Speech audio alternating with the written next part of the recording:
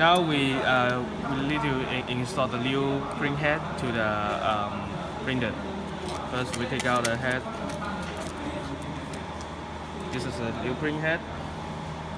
We turn it in this side and we find the connection ports here. And now we need to connect the cables on the head. The first cable we need to connect is the top one. The top one. We check about the, the cables pins, make sure they're good conditions. Then we can connect it gently to the top one spot.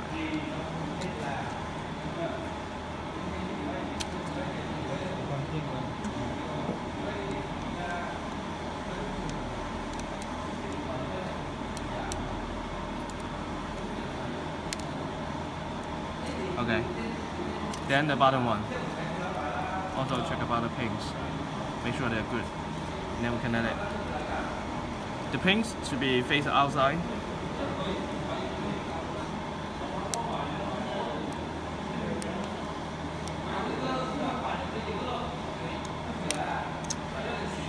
Okay, then we put it in.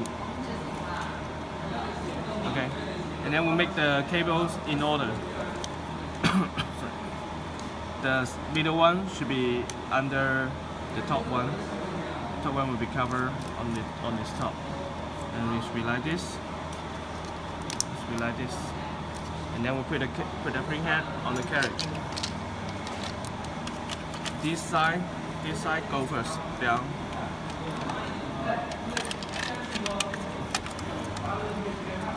And the cable was clicked into the uh, was uh, put into the clicks.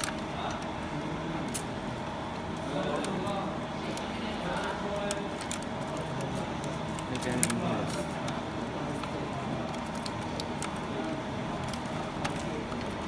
Okay, then we'll put the head. Sure it was flat the. Um, make sure it was uh, in the bottom side of the head. Check them out. They were in the in the even uh, in the same positions with the carriage. And then we should lock the screws. There's three screws. One here, one here, and one here. We lock the screws on the carriage. Okay. Then after we lock the screw, we should uh, connect the dampers to the print head.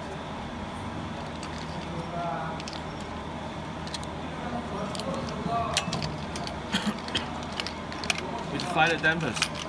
They should be have the labels, have the uh, tabs on the tubes. Connect it one by one. Four whites on the first.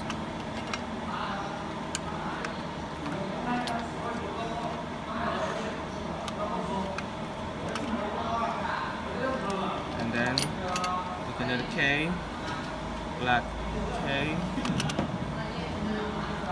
C, M, white.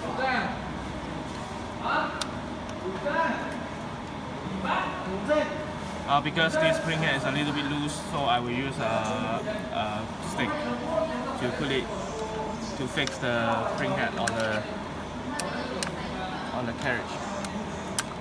The first, the, your new head no need to do this. This one just an old one, so I have to do this. Okay, now the head was installed finished.